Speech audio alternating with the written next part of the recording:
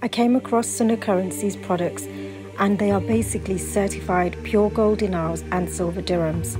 These can be used for gifting mahar at the time of nikah from the family or from the groom there's two different types of mahar uh, packages available. One is mahar al-Fatimi, which is the Queen of Jannah, and that mahar was given by Ali radiallahu anha to Fatima radiallahu anha, and that was 59 coins totaling 1750 grams. The other package for mahar is the mahar al-Azwaj, which uh, our Prophet ﷺ would give his wives, and that would be 52 coins totaling 1530.9 grams. All their products are pure gold dinars and silver dirhams. They're all certified and IMC compliant.